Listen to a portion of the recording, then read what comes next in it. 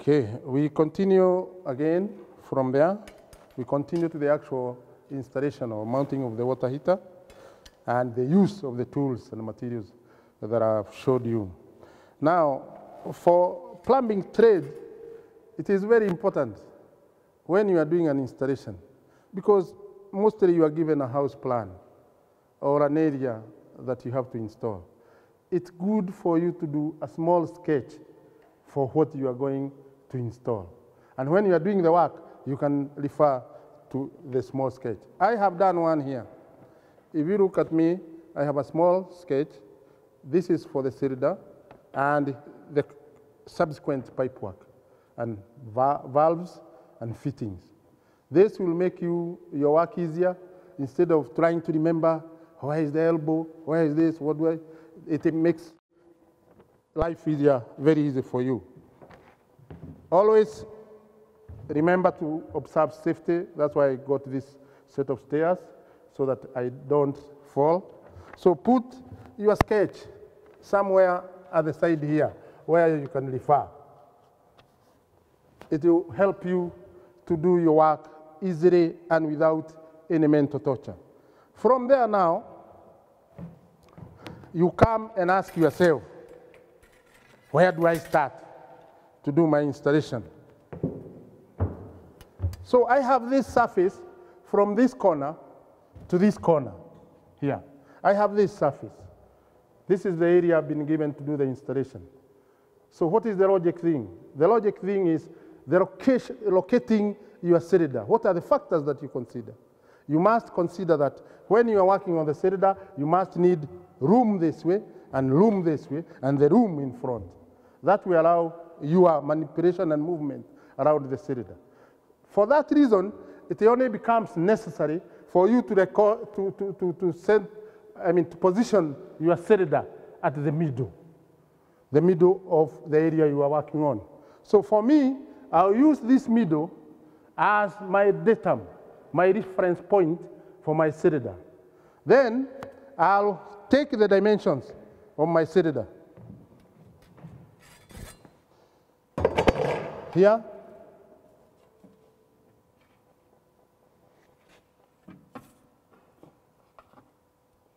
So there I go, 457.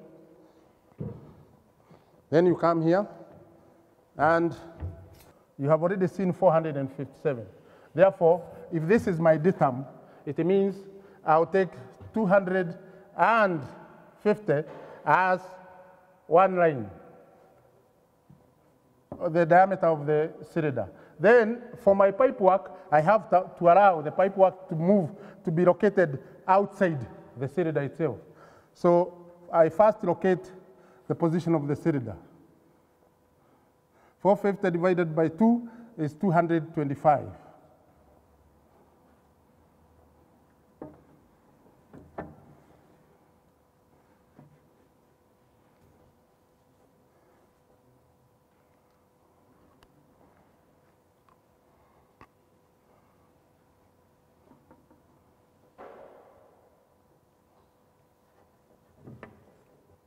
Then at this point, I must draw a level for locating the cylinder. Where does my cylinder? My cylinder should not go above the wall. It should, I should leave some allowance. So I'll fix it as high as possible, but not outside the wall. So I'll leave a distance of about 150 mm. So I use my datum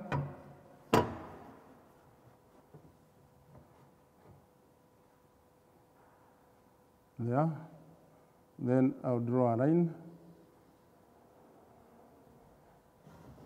Then I'll turn this on the other side. Still using my datum there as my reference point.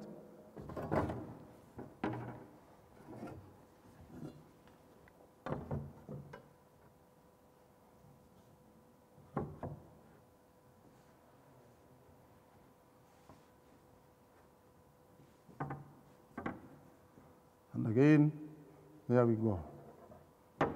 So that is the maximum level of the rim of the cylinder. Then from there, This, the reason why I've left this space is because you can see from the fixing bracket, there is a similar distance. And I want my system to be at the same level with the wall. So I must provide for this position of the fixing bolts, uh, supporting bolts.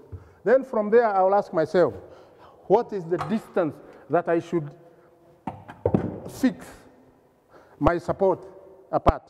So this time, I go for the small ruler. You can see it is the, the whole bracket is that centimeters. So that a centimeter means from the middle to the end is 15 centimeters. From the middle to the other end is also 15 centimeters. But I cannot fix these ones at the very end. They should be at the middle there so that the road, when the tank is full, can be transmitted evenly on the hanging bolt. So I'll measure from the datum 10 and 10. So that that's where I'll fix my support bolt. So there you go.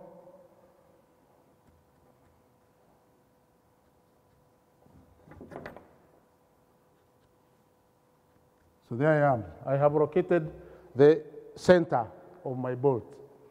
To be able to get the other distances, you start by hanging the cylinder. Then the other distances and lengths of pipes will come automatically. So from this stage, I now drill the holes and fix my hanging bolts or support bolts and then hang the cylinder. Then I will do the necessary pipe work after the cylinder is in position. So I have my power supply here. I have my drill bit. I have my drilling machine.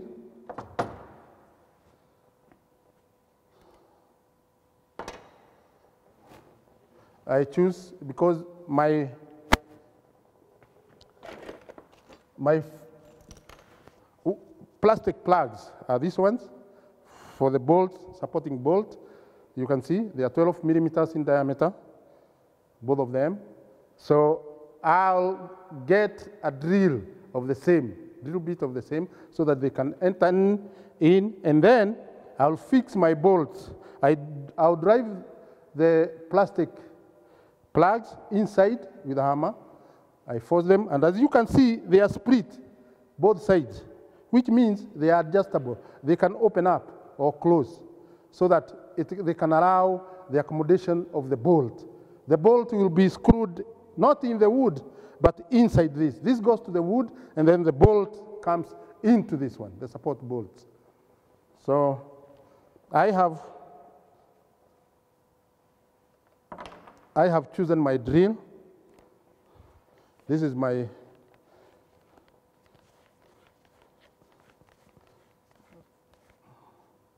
I want to fix, you can see, I have fixed my drill bit. There. And then to make sure that it's totally tight, I have this, the key, the tightening key.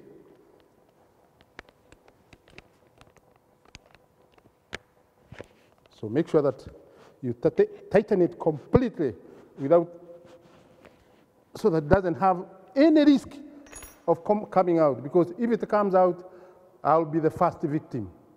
And it can cause serious injury and damage. Then, uh, here I can drill without climbing onto a ladder. As you can he see here, on standby, I have a ladder. So if the distance was higher, I would have used the ladder to go up. That is the normal practice and standard practice.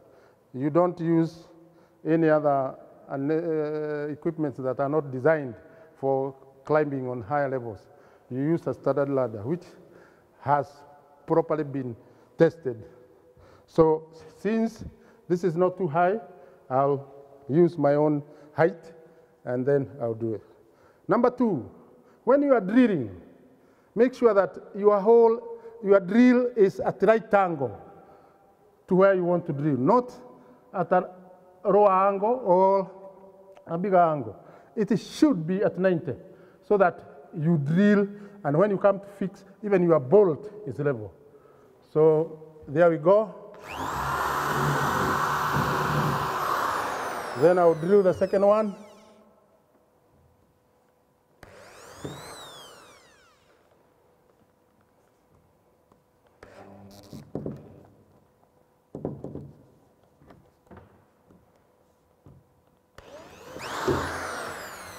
There we are, we are done with the holes. And then to avoid any accident, disconnect the tool from the power. Then I have my plastic plugs, which I drill in. I mean, I push fit and force inside there. I need a hammer. This is a rubber mallet, which is used to drive the plastic plugs. So I'll drive the plastic plugs. So you can see they are, they are flush with the wall. If it was a concrete wall, the process is the same. There is no difference between a wooden wall and a concrete wall. From there now is to fix the support bolts.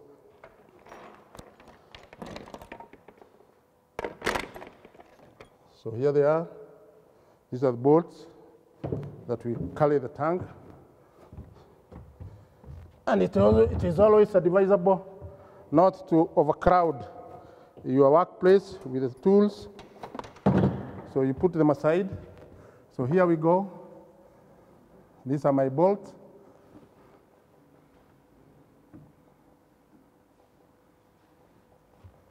There.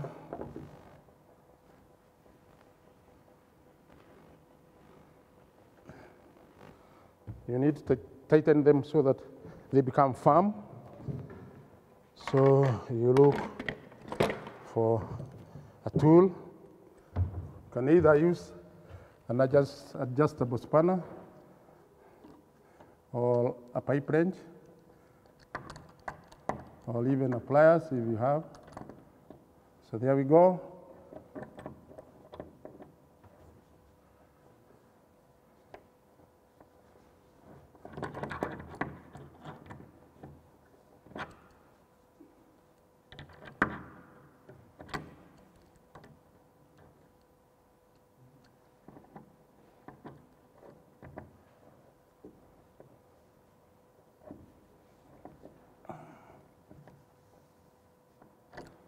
So you must leave some space for your brackets to enter.